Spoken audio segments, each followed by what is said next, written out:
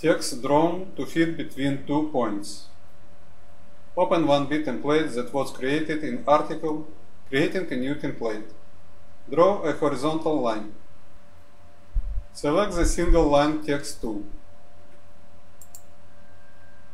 AutoCAD prompt specifies start point of text. Right click and select Justify. This opens the dynamic input list. Select Fit. AutoCAD prompts specify first endpoint of text baseline. Pick the point at the left end of the line. AutoCAD prompt specify second endpoint of text baseline. Pick the point at the right end of the line. AutoCAD prompt specify height. Type 1 and press enter. Type view and press enter.